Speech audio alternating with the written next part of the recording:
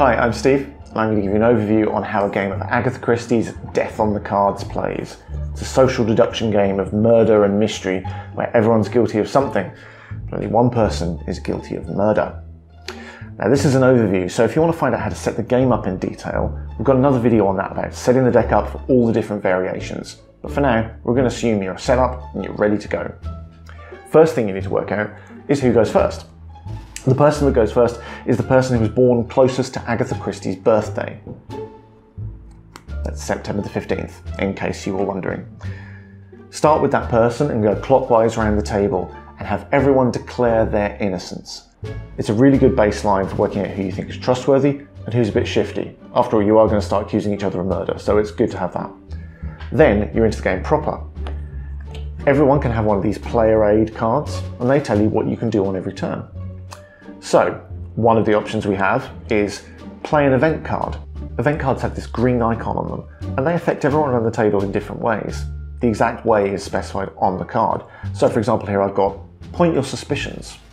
This has everyone at the table count down from three to one, and on one, they have to point at who they think the murderer is. That person then has to reveal a secret. I've got here, look into the ashes. This allows you to look through the top five cards in the discard pile and take one back into your hand. Another one here, card trade. Card trade allows you to pick a player and they have to trade a card with you. You might get something useful, but maybe you'll get one of these other cards, a devious card which has this pink icon on it. I've got one here, this is social faux pas. If I received this from another player, I'd have to reveal a secret. So that's not so good. But bear in mind, these only activate when you receive them from another player. If you pick them up from the draw pile, they're in your hand and you can play them on someone else. Third type of card is the instant card. This is a not so fast you fiend card. If someone plays something and I don't like it, I don't want it to happen, I can cancel that. Someone else, of course, could cancel my not so fast you fiend card. But then if I had another one, I could cancel their not so fast you fiend card. It can get complicated, but it's an option. The fourth kind of card ties in with our second option of what we can do on our turn. We can play a set of detective cards. I've got here two Tuppence Beresford cards. You can see they're the same and they both have this two icon, so I know that's how many there are in a set.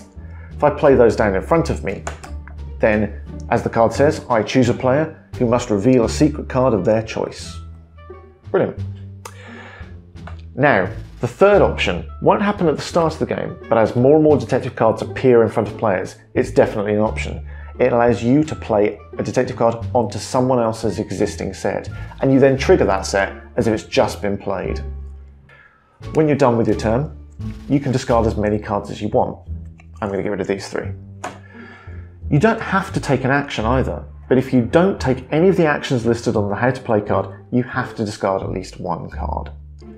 Then, the final thing you do is draw back up so you have six cards in your hand. Play then passes around clockwise. Everyone keeps taking turns until the game ends. The game can end in one of three ways. The first way is the murderer is caught. They'll be caught by this card being revealed, the secret card which says you're the murderer on the underside. Only the murderer has this. If this is turned face up, they've been caught, they've been arrested. Well done. Unfortunately, there are two ways the murderer can escape. The first is if all the cards in the draw pile get used up. And that reveals at the bottom this the murderer escapes card. And that means just that, they've escaped, probably to another country with very poor extradition laws. That's why if someone discards a lot of cards and starts using up all the draw deck, maybe they're being a bit suspicious. The final way that the murderer can escape is if everyone else around the table is in social disgrace. That means all of the secret cards are face up, they can't really activate anything in the game anymore, the murderer can just get away. They've got away scot free because no one else will believe them. That's how the game works in principle. So if you've got other more detailed questions, maybe check out the how to set up a deck video or the one that explains how detective cards work in greater detail.